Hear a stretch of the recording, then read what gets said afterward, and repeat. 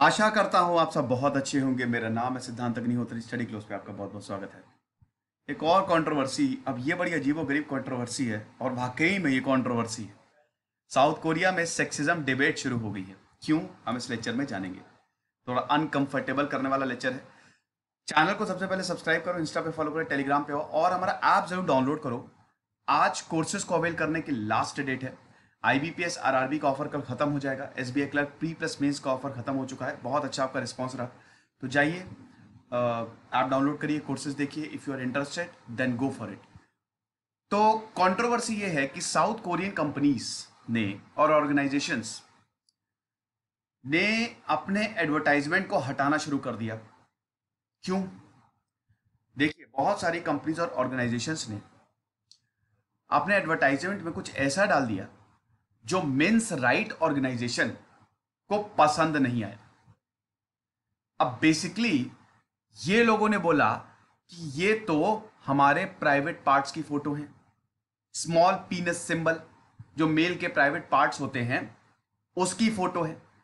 तो ये किस तरीके का एडवर्टाइजमेंट है जो मर्दों को नीचा दिखा रहा है? अब इसीलिए ये कंट्रोवर्सी बहुत बड़ी हो गई। और साउथ कोरियन कंपनीज़ ने जब बहुत ज़्यादा बवाल बढ़ा तो इस एडवर्टाइजमेंट को कैंपेन को हटाना शुरू कर दिया। जेंडर राइट्स ग्रुप में वैसे बहुत बवाल रहता है। Men and women rights group दोनों आपस में भिड़े रहते हैं। वुमेन्स राइट्स ग्रुप को कोई मौका चाहिए और मेन्स राइट ग्रुप को भी कोई मौका चाहिए। अब इनको मौका मिल गया। ये तो बोल रहे हैं कि हमारे प्राइवेट पार्ट को आप इतना छोटा दिखा रहे हो, ये तो हमारी मर्दानगी पे हमला है। हम इसको बिल्कुल भी नहीं सहेंगे। और हो गया बवाल चलो इसको और देखते हैं। तो कंट्रोवर्सी शुरू कैसे हुई?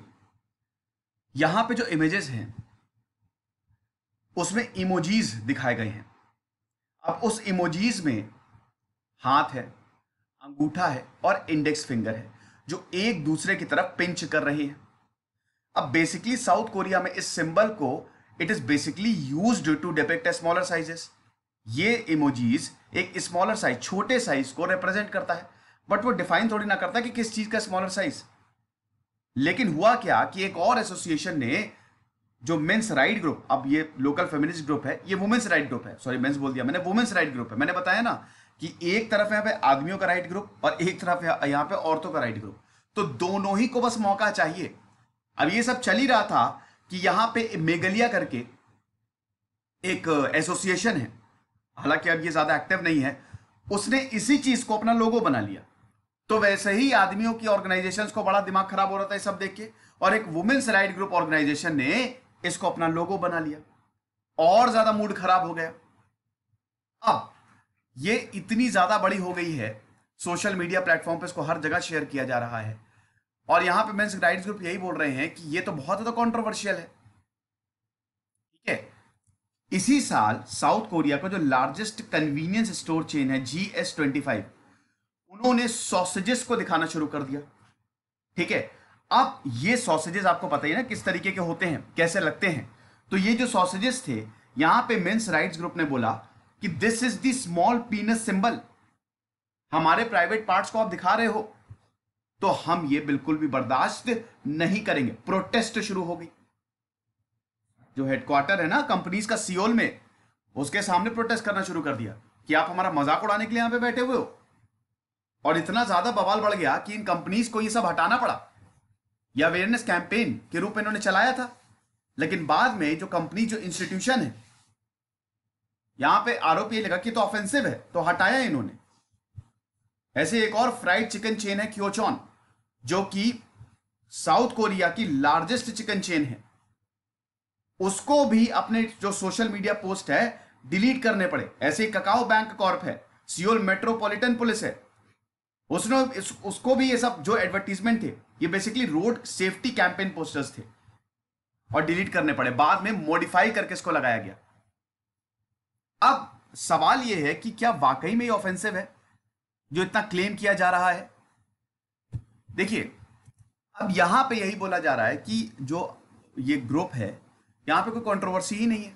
ज़बरदस्ती आप नॉर्मल चीज़ों में कंट्रोवर्सी निकाल रहे हो।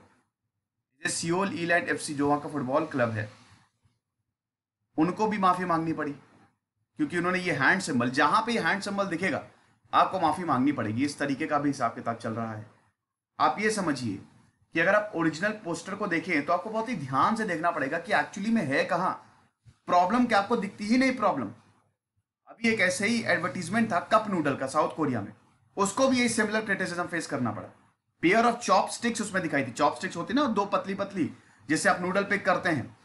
उसमें भी कंप्लेनेंट ने यही बोला कि ये तो finger it it actually took the shape of the finger hand gesture का। जिसने हमको जहाँ पे ये हैंड जेस्टर मतलब स्मॉल साइज़ जहाँ पे ये हैंड जेस्टर नज़र आएगा, ये राइट्स ग्रुप एक्टिव हो जाता है। तो कंट्रोवर्सी देखनी पड़ती है यहाँ पे। एक्चुअली में कंट्रोवर्सी है ही नहीं। दूसरी चीज़ ये है कि एक तो एम्प्लॉयमेंट अपॉर्चुनिटीज़ भी अब धीमे धीमे कम हो रही है।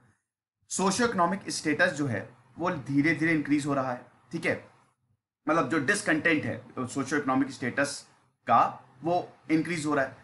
यहाँ पर रिसर्चर्स ने ये नोटिस किया है कि एंटी फेमिनिस्ट सेंटिमेंट धीमे धीमे बढ़ रहे हैं।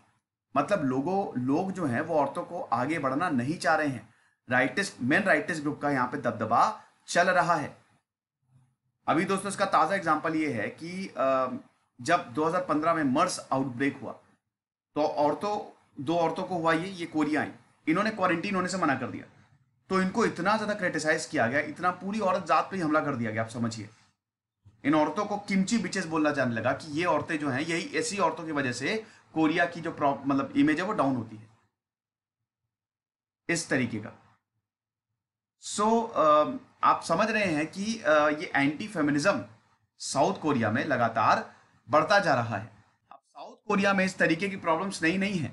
कई बार कंपनीज़ को इंडिविजुअल्स को टारगेट किया जाता है। प्रॉब्लम यही साउथ कोरिया में कि ये पीछे जा रहा है ठीक है? औरतों को यहाँ पे आ, जो राइटर्स ग्रुप है दे डोंट वांट कि औरतें आगे बढ़े।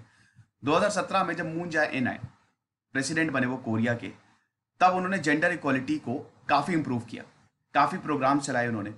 सैलरीज बढ़ाई उसके बाद सरकारी सब्सिडीज दी फिर नए बिज़नेस अगर आपको करना है तो आपको लोन्स मिलेंगे। लेकिन अभी ये भी बोला जा रहा है कि कुछ नहीं अभी बहुत कुछ करना बाकी है। अब 2015 में जो लोकल ऑनलाइन फेमिनिस्ट ग्रुप है, मेगलिया, उसका जन्म हो गया।